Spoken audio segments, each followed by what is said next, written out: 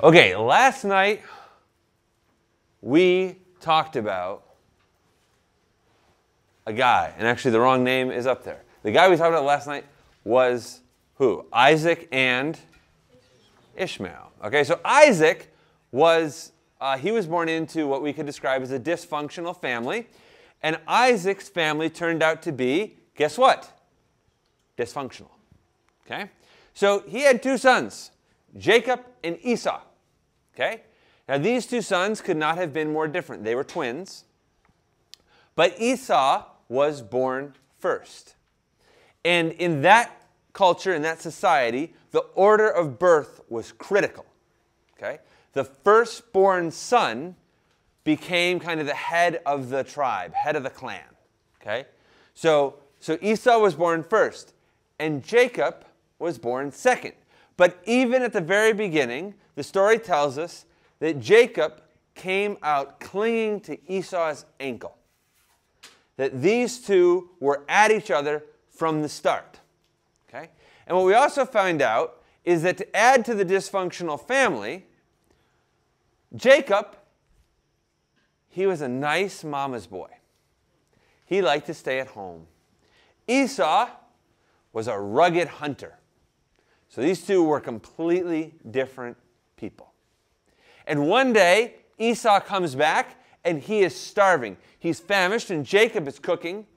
And Esau says, Give me something to eat. And Jacob says, Give me your birthright. In other words, give me the right of being the firstborn in this family, and I'll give you something to eat. To his own brother. To his own brother who was hungry, he bargained for food. And Esau goes along with it and says, Okay, look, you can have my birthright because I'm going to die if I don't eat. Some years go by, and Isaac is now old. And as he is getting ready to pass on to the next world, he says to Esau, still the older son, even though I gave up the birthright, come and I will give you my blessing. It is time for me to depart. Okay? Now, Esau says, Very well. Esau goes out and he hunts and he finds some food to prepare a feast so he can receive his father's blessing. And in the meantime, their mom gets involved. And their mom decides she doesn't want Esau to have the blessing, she wants Jacob to have the blessing. How dysfunctional. You've got a mom trying to screw over her own kid. Okay. And sure enough, it works. She dresses him up in hair and makes him smell like Esau because the problem was that their father Isaac couldn't see very well. And he goes in and here's Isaac all dressed up in hair and looking like a fool, but his dad can't tell. His dad's confused, asks questions Are, are you really my older son? Yes, I'm your, I'm your older son. And gives him the blessing to the younger son. So, on top of stealing the birthright, he then steals the blessing. Now, what do you think? Remember what I told you about Esau? Remember what I told you about Jacob? What do you think Esau was getting ready to do when he, find out, when he finds out what happens? What? Angry. angry. And remember, one is a rugged hunter, the other one's a nice, stay at home kind of guy. What do you think he wanted to do? He wanted to kill him. True story.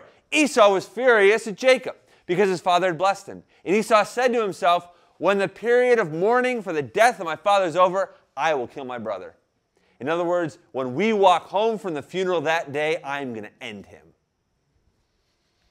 Rebecca was told what her older son Esau was planning, so she summoned her younger son Jacob and said to him, Esau, your brother is planning revenge. He plans to kill you. So now, my son, listen to me. Get up and escape to my brother Laban in Haran. Live with him for a short while until your brother's rage subsides until your brother's anger at you goes away and he forgets what you did to him. Okay, stop. Is there anything that makes you think he's ever going to forget what his younger brother did? Absolutely not. Then I will send for you and bring you back from there. Why should I suffer the loss of both of you on one day? Okay? So Jacob does what he is told. Okay? And off he goes. Now, years go by, and he goes off, and his uncle Laban turns out dysfunction runs through the whole family. There's all kinds of drama and dysfunction and trickery goes on there. And finally, he decides, Jacob decides, look, I want to come home. Like, I'm tired of living with Uncle Laban. I want to come home. But I got to know what's going to happen when I get there. Okay? So he decides to send some messengers to find out how this is going to go down. This is years later. Jacob sent messengers ahead of him to his brother Esau to the land of Seir, the open country of Edom. He gave these orders Say to my master Esau, This is the message of your servant Jacob. Stop right there. Master? He stole the birthright, he stole the blessing, but all of a sudden, he's calling him master and calling himself servant. I've lived as an immigrant with Laban, where I've stayed till now. I own cattle, donkeys, flocks, men servants, and women servants. I'm sending this message to my master uh, now to ask that he be kind, right? He's explaining to him, look, I've got stuff. I'm not coming to get your stuff. I don't want anything you have. I've got my own stuff. I just want to come home. Message returned to Jacob and said, We went out to your brother Esau and he is coming to meet you with 400 men. 400 men. And this is the proper translation. Jacob was terrified and felt trapped. He wet himself. Okay? I don't know if he actually did, but can you imagine? Yeah, he's coming with 400 men. Why on earth would you need 400 men to welcome your brother unless you're going to kill everyone. Jacob was terrified and felt trapped, so he divided the people with him and the flocks and the cattle and the camels into two camps. He thought, if Esau meets the first camp and attacks it, at least one camp will be left to escape. He is fully planning for this to get ugly, really ugly. Jacob said, Listen to this prayer Lord, God of my father Abraham, God of my father Isaac, who said, Go back to your country and your relatives, and I will make sure things go well for you. I don't deserve, I don't deserve how loyal and truthful you've been to your servant. What does that sound like? Which day of the week? What's he acknowledging? What's he saying? He screwed up. Right? He screwed up. I don't deserve how loyal and truthful you've been to your servant. I went away across the Jordan with just my staff, but now I've become two camps. Save me from my brother Esau. I'm afraid he'll come and kill me, the mothers and their children. You are the one who told me, I will make sure, make sure things go well for you, and I will make your descendants like the sand of the sea, so you won't be able to count them. Right? So, in his desperation to not get killed and not get his whole family wiped out, he prays. He owns up. He says, Look, I messed up, but I need your help. Okay? God hears his prayers. Jacob spent the night there. From what he had acquired, he set aside a gift for his brother Esau 200 female goats and 20 male goats, 200 ewes and 20 rams, 30 nursing camels and young, 40 cows and 10 bulls, and 20 female donkeys and 10 male donkeys. He separated these herds and gave them to his servants. He said to them, Go ahead of me and put some distance between each of the herds.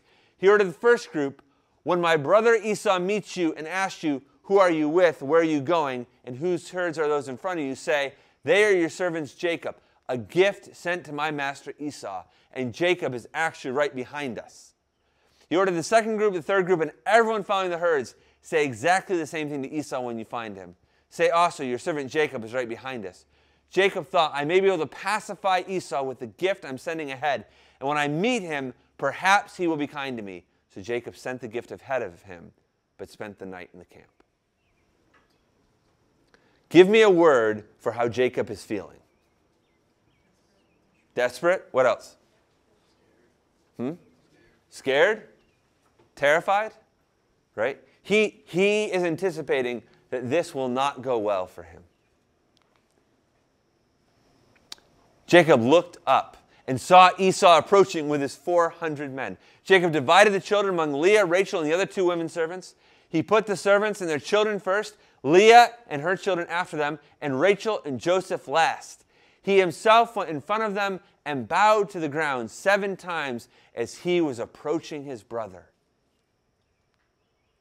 But Esau ran to meet him, threw his arms around his neck, kissed him, and they wept. Plot twist. Plot twist. Esau looked up and saw the women and the children and said, Who are these with you? Jacob said, The children that God has graciously gave your servant. The, the woman servants and their children came forward and bowed down. Then Leah and her servants also came forward and bowed down. And afterwards, Joseph and Rachel came forward and bowed down. And Esau said, What's the meaning of this entire group of animals that I met? Jacob said, To ask for my master's kindness. Esau says, I already have plenty, my brother. Keep what's yours. This is the little punk that screwed him out of everything he was owed. And yet, years later, when they meet, Esau acts like nothing ever happened. Jacob said, No, please, do me the kindness of accepting my gift. Seeing your face is like seeing God's face, since you've accepted me so warmly. Take this present that I've bought because God has been generous to me and I have everything I need. So Jacob persuaded him and he took it. Friends, the word of the Lord.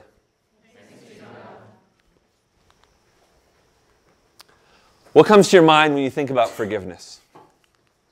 What do we most often think about when we think about forgiveness? Most often in the church, we think about us being forgiven, right? The, the prayer confession, the declaration of pardon, Jesus died on the cross for our sins, that type of forgiveness.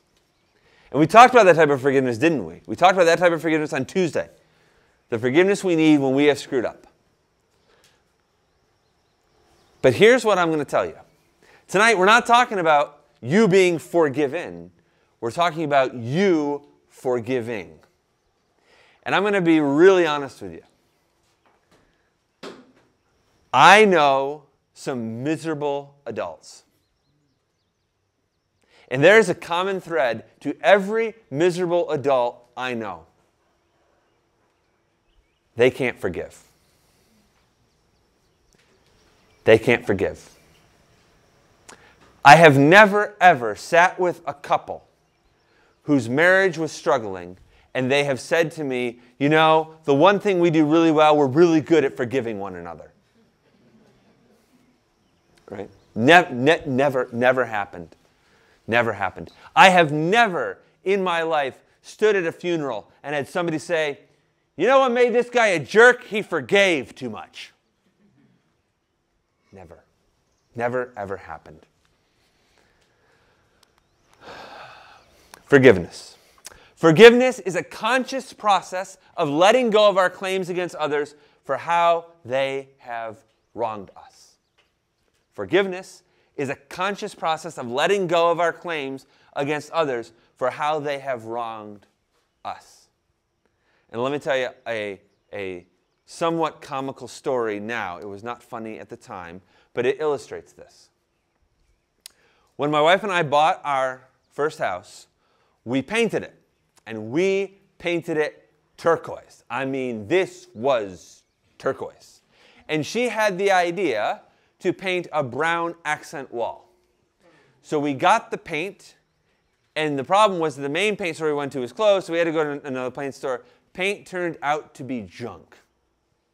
So now we had a messy brown wall that looked basically like, well, fill in the blank what it looked like. Yeah, it wasn't chocolate. So I thought this was kind of funny. I thought this, was kind of funny. And a couple times over the next day or two, I said, yeah, like the brown wall, right? Referring to kind of joking, trying to pick on her about this idea.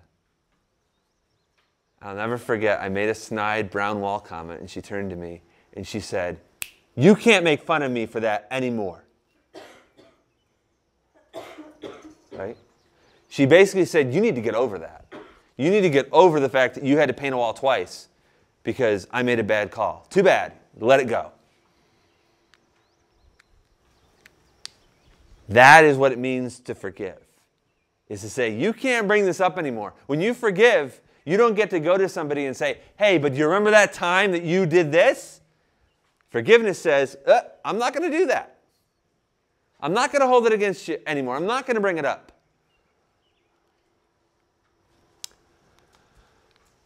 I did some reading on forgiveness. And what's fascinating about forgiveness is that it is not just a Christian concept. In psychology, it's a very popular concept. And in Greater Good magazine, which is put out by the University of California at Berkeley, so this is not quacks and idiots, these are real people with real knowledge, write this about forgiveness. Psychologists generally define forgiveness as a conscious, deliberate decision to release feelings of resentment or vengeance toward a person or group who's harmed you, regardless of whether they actually deserve your forgiveness. This is not a church article. This is a, a secular, socially researched journal that writes that forgiveness, whether the person deserves it or not, that's what forgiveness is. It's, it's letting go of those feelings of resentment. Just as important as defining what forgiveness is, and this is where I want you to follow really closely, though, is understanding what forgiveness is not. Experts who study and teach forgiveness make clear that when you forgive, you do not gloss over or deny the seriousness of an offense against you. Forgiveness does not mean forgetting, nor does it mean condoning or excusing offenses.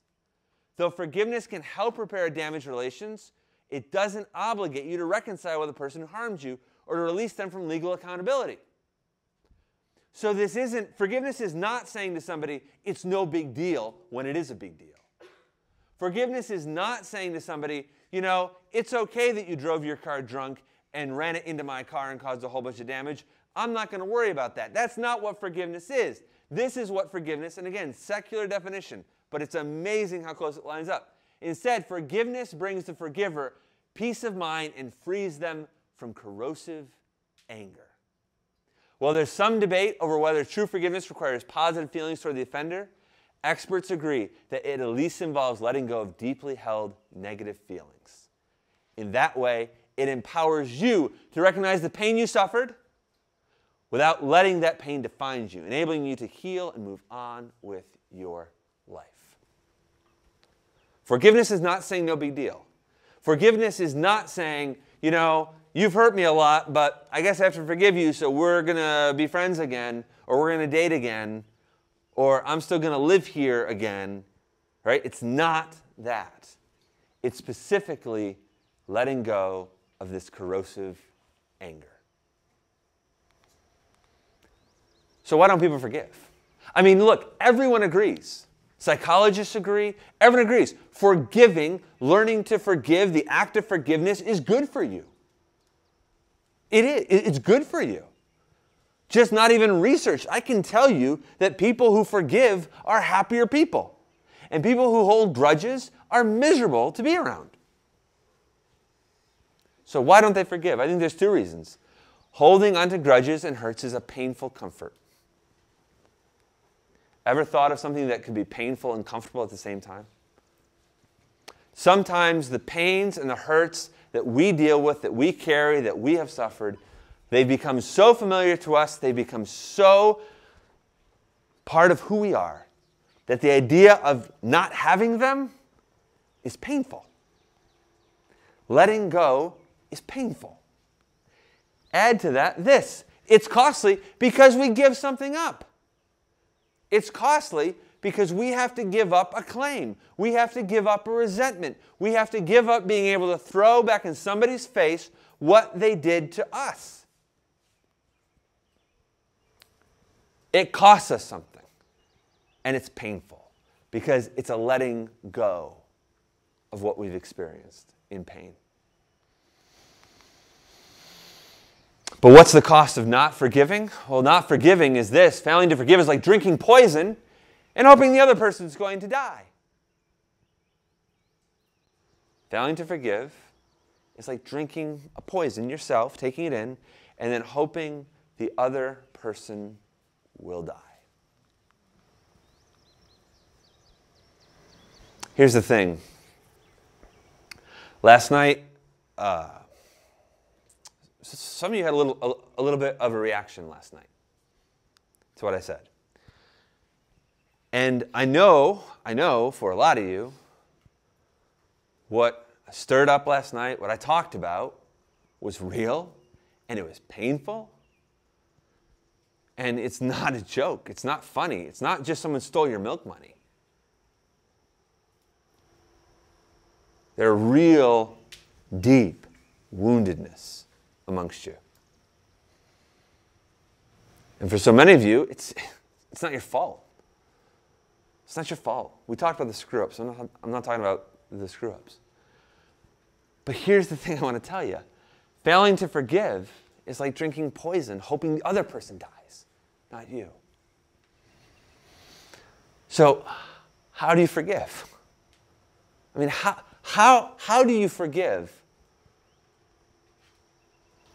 And to be honest, this is where the, the psychology begins to break down. This is where, as I read, psychologists begin to run out of answers. And this is why psychologists debate whether or not you have to have positive feelings toward the person or not to, in order to forgive them. Because this is where we run into a wall. How can you forgive? If these feelings are so real and so painful, how can you forgive someone who's wronged you and hurt you in a very deep, powerful, and life impacting way? Well, C.S. Lewis, who wrote the Chronicles of Narnia, wrote this To be Christian means to forgive the inexcusable because God has forgiven the inexcusable in you. And this is my favorite line that C.S. Lewis wrote This is hard. Thanks.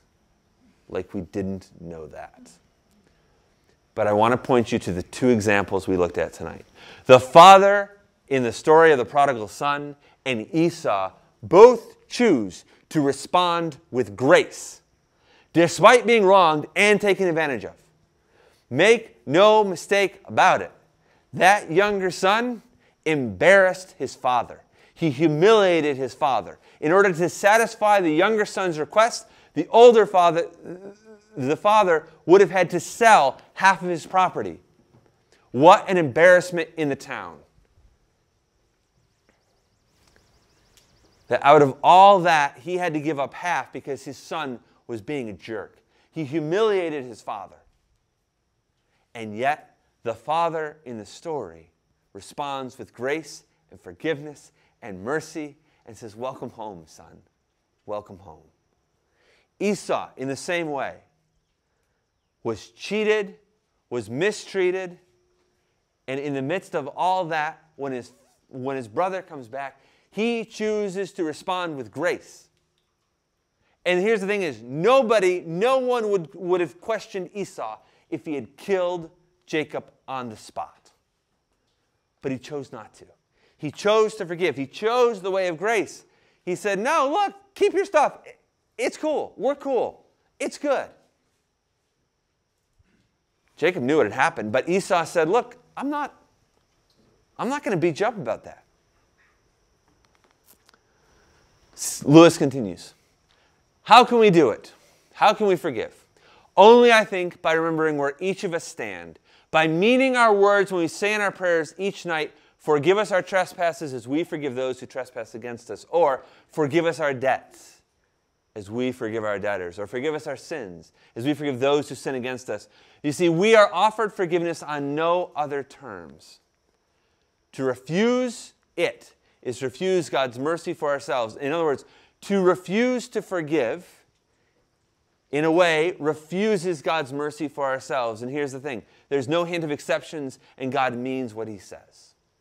In other words, Lewis writes in strong language we have an obligation to forgive. We don't have an obligation to forget. We don't have an obligation to overlook it. We don't have an obligation to do anything else but forgive. And why is that? Forgiving others, as costly as it may be, frees us from the toxic wounds that infect us. Here's an analogy, and this is gross. How many of you have, have ever gotten a cut? All right. Now, when you get a cut, normally what happens is you get a cut and you go get a band aid and you put neosporin on it, right? Or some triple antibiotic or something to keep it from getting infected. Because what happens if a cut gets infected? It gets nasty. It gets nasty, right? it gets nasty. Look, we all get cuts. We all know how we have to deal with those cuts. Here's the analogy I want you to think about the pain and hurt in your life are those cuts. Right? Not literal, but they are cuts. They are wounds that you carry in your person, in your being, and who you are. Now, you have a choice. You have a choice to either put some neosporin on it and put a band aid on it, or let it get infected. Let it become toxic. Right? The pain and hurt that you deal with in your life, you have a choice, a hard one, to either forgive or to allow that wound to fester and to grow and to get infected. This is not an easy choice. This is not an easy choice. I have known people who have had to deal with incredibly hard things. A member of my congregation that I served, his infant son passed away because the nurse who was caring for him came to work sick one day. A woman in the same congregation was her son was riding his bike and he drove out into the street and he was, and was struck by another member of the same church and died. A dear, dear friend of mine watched as her husband over and over again cheated on her, left her, abandoned her, and then begged his way back.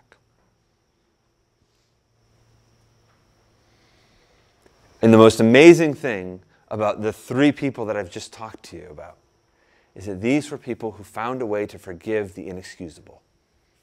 Who found a way to forgive the inexcusable. Those are inexcusable situations.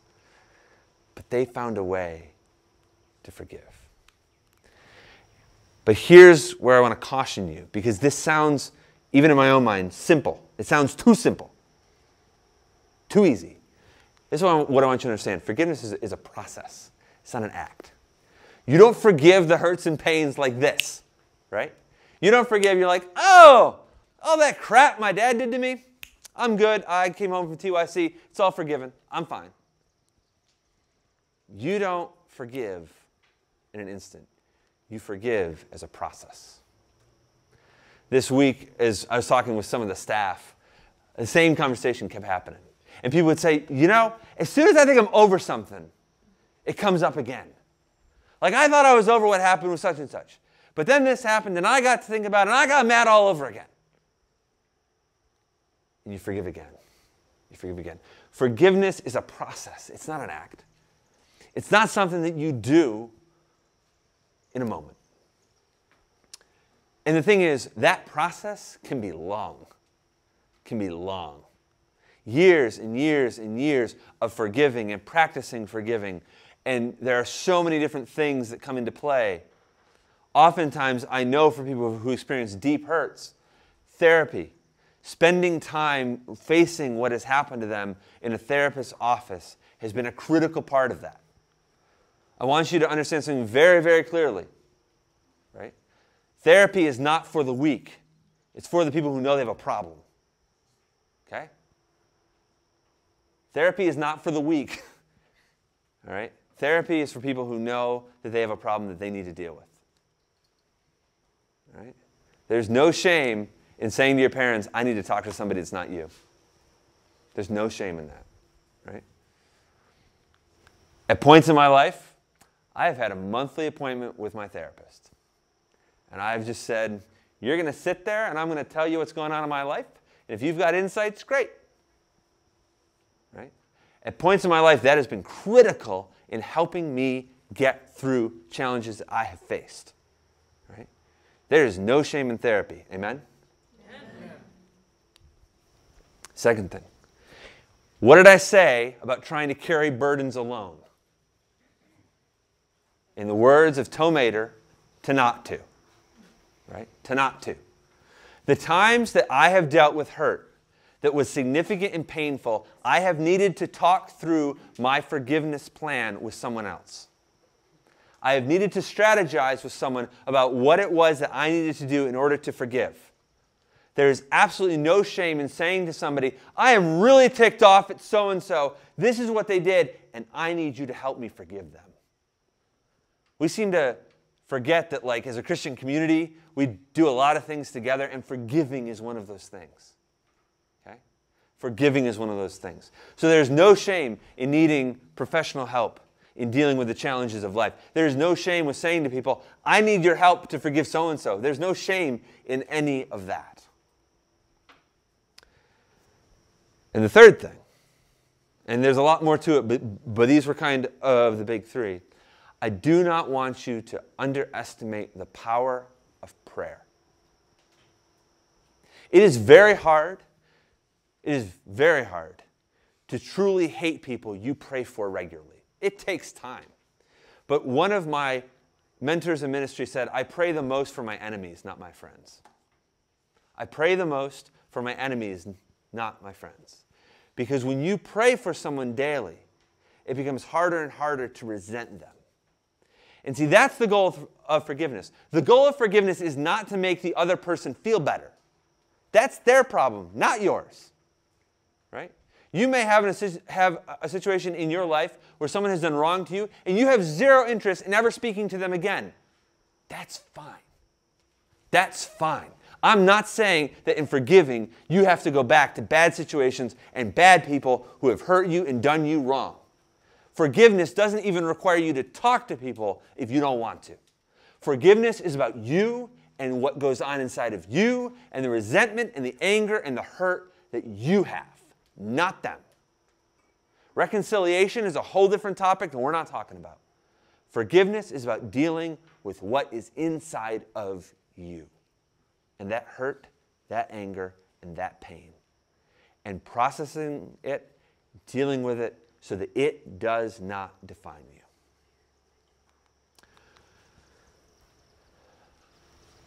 I almost didn't end on this story, but I'm going to. Because I think it's hard. Like, this is, of all the nights, this is the hardest one for me to do for you. Hardest talk to give. Because this is not easy. This is challenging. It's demanding. But let me give you a little bit of warning. You see, in that two sons, in the story of the prodigal son, there's another son, the older son.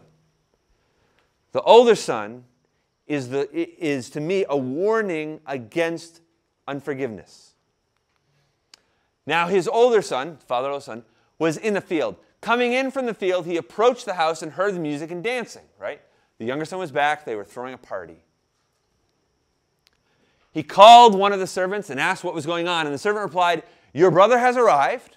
Your father has slaughtered the fattened calf because he received his son back safe and sound. Then the older son was furious and didn't want to enter in, but his father came out and begged him. He answered his father, Look, I've served you all these years and I've never disobeyed your instruction. Yet you've never given me as much as a young goat so I could celebrate with my friends. But when this son of yours, right, not my brother, not my brother, he says, when this son of yours returned after gobbling up your estate on prostitutes, you slaughtered the fattened calf. You threw a party. The father said, Son, you are always with me, and everything I have is yours. But we had to celebrate and be glad because this brother of yours was dead and is alive. He was lost and is found. I want you to read this line. Then the older son was furious and didn't want to enter in. The older son was so bitter, he was so resentful, he was so hurt, he was so angry about his knucklehead little brother and what he had done that he was willing to sit out a party to hold on to his bitterness, hurt, and resentment. Dang. Every time. Now it's good. It's good. Are you sure? Yep, it's good. You're going to pick him up here in a minute anyway. He was willing to miss a party, a celebration, joy. To close, as I said, I know people who have endured great pain and great hurt and great suffering in their life. And the ones that thrive are the ones who don't forget it happened, who don't learn lessons about themselves from the situations. They're not that, but they're people who have learned to forgive. Have learned to say, the hurt that I carry, the burdens and pains that I have, they will not define me. I will find a way to forgive those who have harmed me and done me wrong. The most bitter, miserable people I know are people who cling to hurts and pains of the past and will bring them up every time they have a chance. So it is my prayer, it is my hope that for you, you learn to be people of forgiveness. Because I know for me, I have decided something. That at my funeral, when my day has come and I've journeyed home, if they say nothing else about me, if they say nothing else about who I was and what I did, and even the type of father and husband I was, if they say nothing else about any of that, I want someone to be able to say of me, you know what? He knew how to forgive. He knew how to forgive. You see, forgiveness so much is about what we allow our hurts and pains to do to us. It's not about the other person, but it's about us. And it's my hope that you tonight can reflect on some of what you're dealing with, no matter how small it may seem, and begin to think are there things I need to forgive? Do I let this resentment build inside me? Do I, do I let this anger overwhelm me? Do I let it control me and define me? And what I would encourage and hope that you would be able to do this week is to start, not finish, but to start a process of forgiving someone, not everyone, forgiving someone who has done you wrong who has hurt you.